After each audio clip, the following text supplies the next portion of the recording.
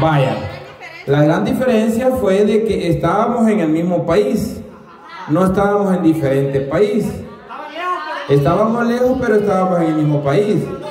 O sea, podría funcionar, por ejemplo, si la chiclín, el bicho estuviera allá en, en Oriente y que fuera más fácil visitarse y que hubieran aviones que lo lleven así facilito sin estar pues, así una viaje internacional. Y, y la otra diferencia fue eso, la edad. Porque la chiclín tiene de 15, el, el bicho tiene de 16. ¿Y qué estás pensando, Daisy? Es una gran diferencia. O sea, vos apenas estás comenzando a vivir la vida, aunque pues sí, ya, ya tenés tu experiencia y todo, pero estás comenzando a vivir la vida de amores y experiencia. ¿Hola? Ajá, que empezaste luego diferente, pero, pero de que estás comenzando, estás comenzando. Entonces, en el caso de la mona, en el caso de la mona, pues, ¿qué pasó ahí, mona? En el caso de la mona, yo creo que no se terminaron de conocer bien antes de comenzar algo supuestamente según ellos serio. Entonces, eh, ahí creo que fue el, el, gran error de que eh, pensaron conocerse y querían seguir el siguiente paso y no estaban listos. Como Armando con la hueva. Que ya según Armando ya estaba listo para matrimonio, no sé qué. Imagínense, hubieran casado.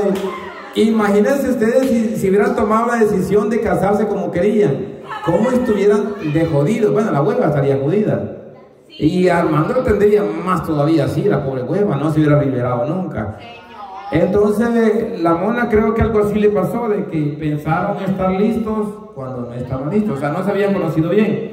Y en el caso de mi sobrina, pues sobrino, usted sabe que la aprecio mucho, la he visto desde pequeña crecer, desde que tenía como tres años, tres años más o menos tenía, ¿verdad? Hola. ¿Cómo? Entonces, como yo me conozco con Paul de marzo, para acá, ya casi es una relación seria. Ah. No, o sea que depende del tiempo. Ya lleva bastante. Hija, estamos hablando de la edad de la chiclín. ¿Cuántos años tienes vos? ¿Cuántos años tiene Paul, hija? ¿Qué estás pensando? Te puedo decir nomás también a vos, lo mismo que la Daisy. Discúlpeme, discúlpeme, discúlpeme, pero a mí no me queda esa frase, porque ¿Qué? yo no estoy enamorada. Y yo no Y no estás diciendo vos que Paul y yo y no sé qué. Yo fui el que dije. Ajá, cabal. No, yo no estoy enamorada, yo no estoy enamorada. Enamorada no, enculada está. Me dicen a veces una Vaya, entonces continuamos acá con esta pareja. Vaya. Yo lo que no sé que mi hermano me la va a querer echar a mí después, yo hago que lo voy a echar, camarada. Porque yo no tengo nada que ver aquí, yo solo le dije a Nano, anda a traerme a, a mi, a mi sobrina, porque yo sé que Nano es misionero, pues, y es respetuoso. ¿Lo ¿La respetó en el camino? Sí, la respetó. Vaya, entonces, Dije, lo que queremos saber, escuchar son sus consejos así. Y no empezando voy, pues hija, permítame. Vaya, entonces, a, a mi sobrina, pues sí, la, la conozco desde que tenía como dos años que yo llegué de, de ilegal a Estados Unidos. Ella estaba pequeñita, casi que quiero ver. ¿En qué año nació Jenny? Vaya, yo llegué en 2001, tenía dos años ella apenas, imagínense. Entonces, la he visto crecer prácticamente. Y ahora viene este desgraciado a querérsela llevar como que... Vamos, ¿qué pasó? Sí, la verdad, camarada. Pero bien, eh, mis consejos. Vaya. Ustedes, pues, 21 años, 20 años, ya están un poco más maduros comparado con la... Bueno, aquella mm, tiene 15 años, pero está más madura, va. Eh, en cambio, eh, Jenny, pues, es madura hasta donde yo sé, pues sí, de la forma de pensar. No sé qué le pasó ahora, la verdad. Entonces, eh, pero mis consejos son que si de verdad están dispuestos a algo serio, eh, pues sí, tienen que socarla porque no es fácil. O sea, yo sé que, o sea, si, si yo no conociera a mi sobrina y no conociera a Nano, les dijera, están locos lo que están haciendo, pues, pero, pero conozco a mi sobrina y al menos no de grande, pues, pero, pero, pero sí la conozco, los principios que tiene y los papás que tiene también, y yo sé que es buena persona.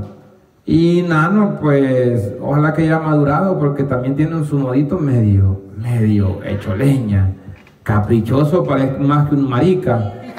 Imagínense, los maricas son caprichosos, y vos sos peor que un marica. Ajá. ¿Qué? Resentido. Ajá, resentido también.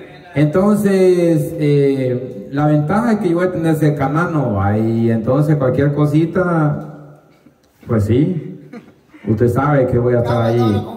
Pues. Por eso mismo. Todos los movimientos que hago siempre usted lo sabe. Por eso mismo. Entonces, ¿está seguro que está haciendo, Jenny? Creo que sí.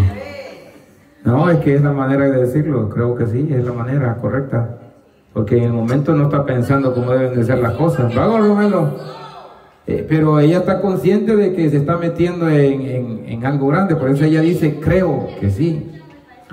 Pero bien, las cosas han pasado bastante rápidas, pero como digo, conozco a mi sobrina y conozco a Nano, así es de que si de verdad están dispuestos a intentarlo, delen.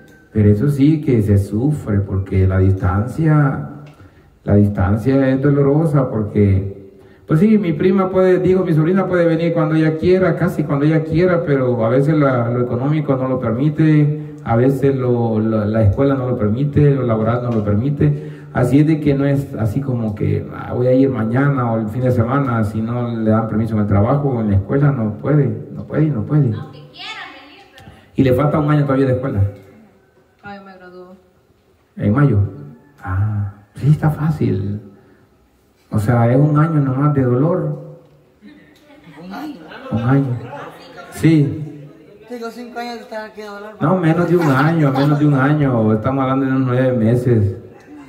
Imagínense. Imagínense que terminen de estudiar en marzo y nosotros vamos a ir en, en abril, eh, ay, mayo, y nosotros vamos a ir en abril allá y qué tal de suerte no, no le salga la, la julio. Junio.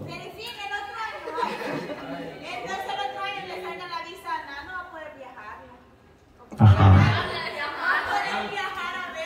Pero para ese tiempo ya van a estar hasta casados quizás. No, no, este, porque hace esa cara cuando decimos de casados. ¿Ah? ¿Por qué hace esa cara? No, para nada. Solo es que casarse. Es que, hijo, en una relación así como la de ustedes, casarse es primordial. ¿Por qué? Porque ella es ciudadana americana y aunque no sea el interés los papeles, aunque no sea, porque no creo, Nano, la verdad que no ha, ha tenido oportunidades de, de, de, pues sí, de viejas cortas que le han dicho, mira, te doy papeles. y, y él no las ha aceptado, ¿va? Entonces, obviamente no es por papeles. ¿Se ha enamorado, Nano? ¿Enamorado o nomás le gusta a mi sobrina? Sí, piensa en ella. Nano, decirle te amo ahorita. Un hoyo, que nada Envidiosa, que que no le puede decir, camarada. Decirle, Nano, para que vea esta mujer, me. Mi amor, te amo. ¡Toma! Para que vea que va en serio el hombre. Ya como ella de escondida siempre anda. Ah. No te hagas ningún que le dijiste te amo a los 10 No, no, ahí yo, yo sé que no, yo sé que no. Vaya. A saber. Vaya, entonces, este. Que no sé qué decirle a ustedes. ¿no? ¿Querés decirles algo que no? Es que trataba de a ella o a él. A ver, A ella. ¿qué no Sí. te pasa? Es que mire, yo trato, yo como que quisiera aconsejarlo, pero siento que lo voy a, voy a hundir a Nano. No, es que vaya, sinceramente, vaya, sinceramente, sinceramente, a mí me gustaría que terminaran juntos, ¿verdad? Como digo, conozco a Nano y conozco a Jenny. Eh, el problema de Nano es que sí tiene su modo que tiene que ir moldeando poco a poco, pero también la madurez se lo va dando. Y pues sí, a mi sobrina la conozco, eh, pues sí, hasta que tenía unos 14 años quizás, ya luego para allá ya, ya no mucho, ¿verdad? Pero como digo, sé los principios que tiene y, y- y de dónde viene, así es de que yo sé que es una buena persona. Usted sabe Eh. ¿Ah?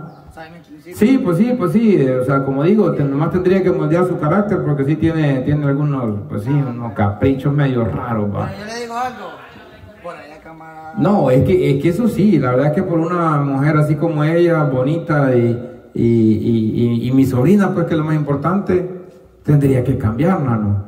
Pero tío, ¿no se recuerda que aquella vez que se puso como cuando se fue? Porque de la cena y después yo le hablé y Ajá. digo, oh, milagros que... Cierto. Ah, fíjese que ya tiene razón eso. ¿Se acuerdan una vez que fuimos, a dónde fuimos ese día? A San Salvador. Que tenían reunión. Ah, el día de la reunión, correcto.